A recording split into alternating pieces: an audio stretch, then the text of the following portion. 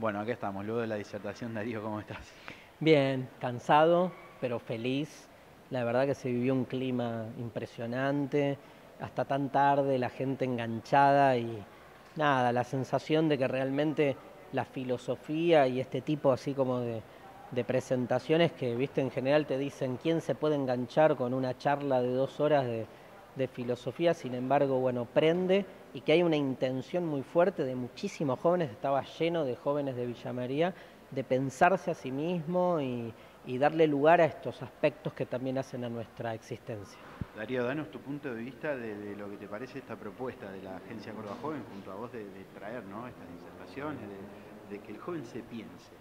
Mira, me parece muy jugado y por lo tanto hiper celebrable que digamos, una institución que desde el Estado digamos, tenga como objetivo el fomento, la promoción, este, en todo caso hasta la contención de la juventud, este, tome como bandera la idea del pensamiento como una herramienta que hace que la juventud no se vuelva solo un producto o una etapa de inversión hacia el futuro, sino que al revés los jóvenes, o sea, dotar a los jóvenes de herramientas para que se piensen más a sí mismos, se animen incluso, te diría, a cuestionar esos parámetros que se instalan como los modos normales de ser joven y que esto esté de algún modo este, fomentado desde el Estado, me parece, la verdad, un hecho inusual y por lo tanto que hace una diferencia con lo que son en general hoy las políticas de la juventud que lamentablemente este, vemos en el mundo, ¿no? Este,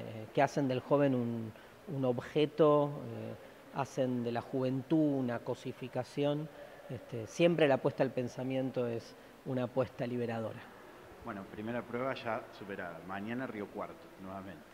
¿Cómo estás preparado? ¿Qué se viene? Adelantanos algo. No, bueno, este, cada, cada lugar, digamos, tiene su particularidad. Yo soy como muy sensible a ver lo que sucede. Aquí en Villa María creo que es la tercera o cuarta vez que, vengo, eso también da una complicidad con, gente que tuvo en otras charlas, que, vio los espectáculos que yo hago. Río Cuarto es la primera vez que voy, así que hay mucha expectativa, hay mucha gente que me escribe por las redes, este, así que me parece que estoy como, la verdad, este, ha generado también en mí eh, el deseo de de llegar porque sé que digamos, los videos de Mentira la Verdad, los distintos este, proyectos en los que estamos tienen una llegada masiva, pero es diferente estar ahí con la temperatura del lugar, con el ida y vuelta, así que contentísimo de haber podido hacer esta mini gira, estar hoy en Villa María y mañana este, en Río Cuarto. Gracias, Darío. Gracias a ustedes.